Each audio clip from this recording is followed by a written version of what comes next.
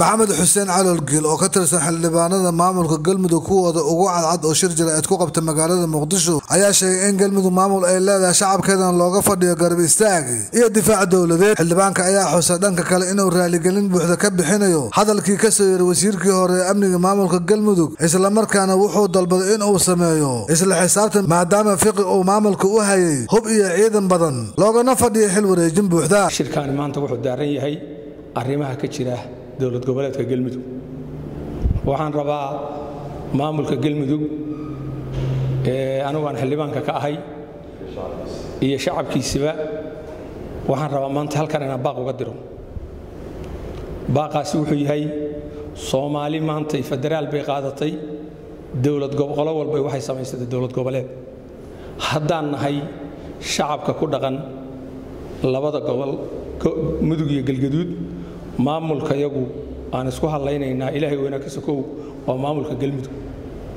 Waxaan rabaa marka maamulka shacabka galmudug dhammaantiis inaan ugu baaqo in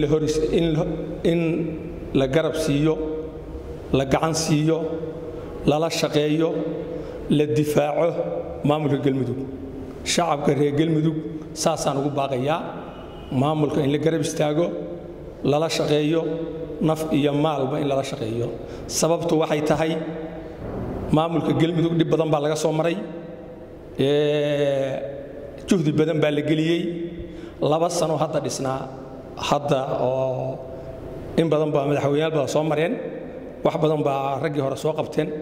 Maamulka hadda madaxweyne axmed cabdi qoorqoor madaxweynaha uu ka yahay waa maamulkii ugu waxqabadka fiicnaa intii galmudug hadda jirtay ama ugu badnaaba waxaa la socotaan galmudug meesha hadda ay marayso dowladdii soomaaliya oo kala taagan ayadii dowlad goboleedyadii maamulka galmudug asagoo laba bilood jira in gogol lagu dhigay loo dhigay lagu heshiisiiyey soomaali la isugu keenay. Waxaa la socotaan galmudug hadda ammaankeeda iyo dhaqaalaheedu iyo horumarkeedu meeshu marahay waa la socotaan. Waxaa marka ii soo jeedinayaa shacabka reer galmudug maamulkaa dhisan ee ayagu iska leeyihiin cid kasta oo wax u dhibaysa inay ka hor istaagaan. Ciddii hub wadata ciddii af ku weeraraysa. Waxaan codsanayaa u soo jeedinayaa in la hor istaago laga diido in galmudug la dumiyo. Shacabka reer galmudug intaasaan ka codsanayaa waxaan rabaa kale halkan inaan kaga hadlo. War maalin dhoweyd wasiirkii hore axmed maxamed lifiqi oo idaacadda ka sheegay ee galmudug dhibaato ku ahaa shacabka reer galmudug iska hor keenayey.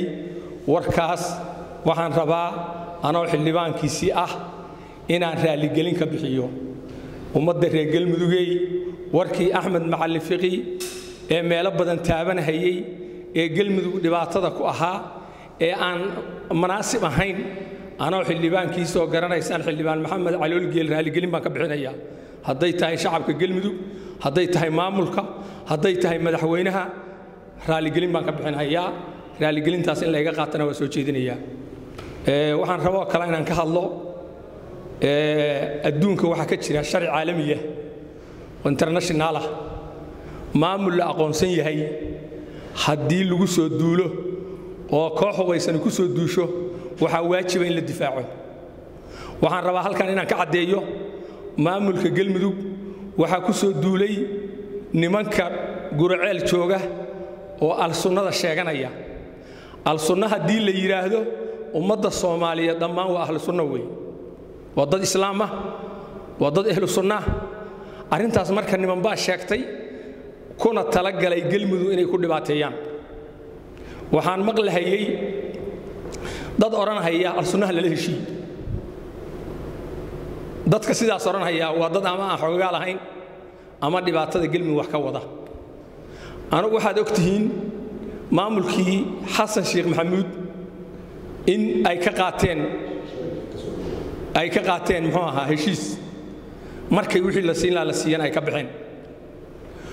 Waxaad og tihiin annaga hadda maamulkan gelmudug siddeetan iyo sagaal xildhibaan weeye waxay qaateen labaatan xildhibaan oo heshiis looga raadinhayay oo aan sharci ahayn.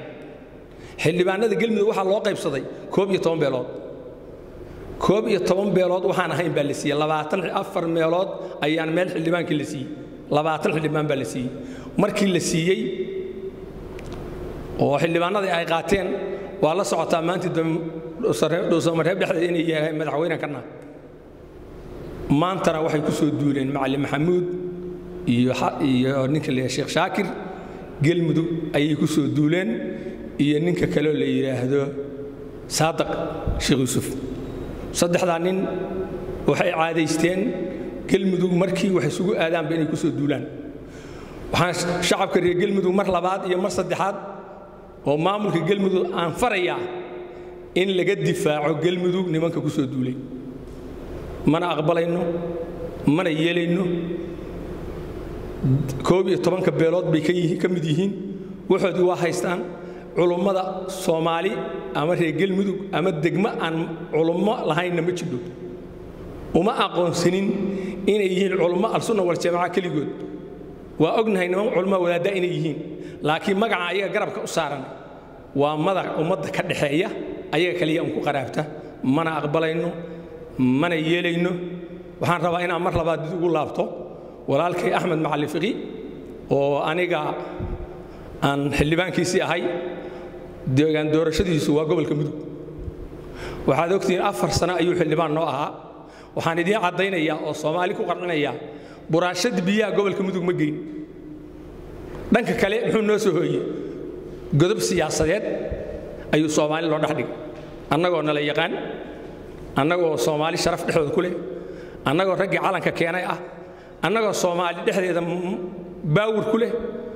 Axmed maqali fiiqi afartaas sano waxaan godob ahayn siyaasadeed nooma soo jiidin. Marka waxaan rabaa ummadda reer gelmudug warkaas meelo badan taabanayey mar isku diru ekaa mar qalqalgelin gelmudug ekaa waxaan ka bixinayaa raaligelin mar labaad iyo mar saddexaad.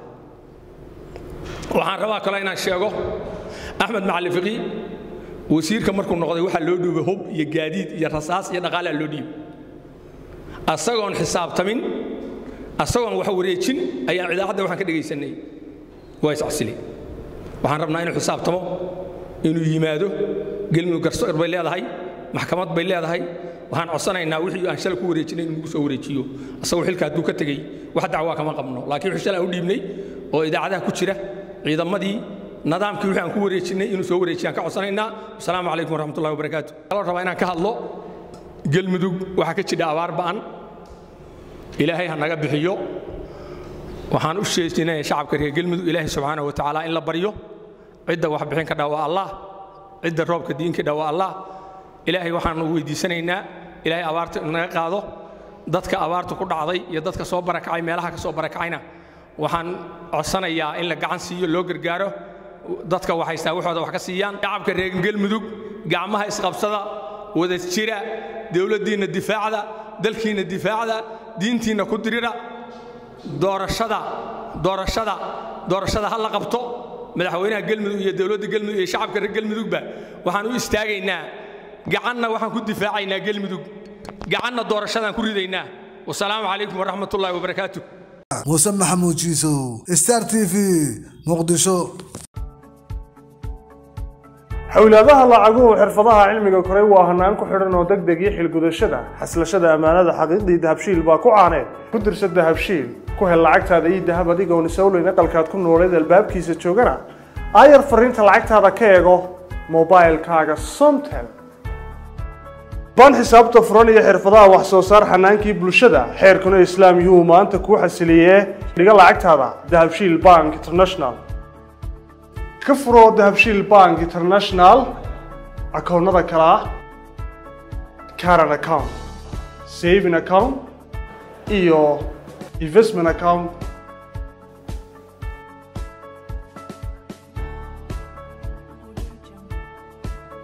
Ku xidho akoonkaaga dahabshiil bank international adeega casriga ee edahab adigoo isticmaalaya mobilkaaga somtel waxaad adeega edahab lacag ugu diri kartaa akoonkaaga lacagna lagaga soo diri karo. Si toosana ugala socon kartid dhaqdhaqaaqa akoonkaaga dahabshiil bank international.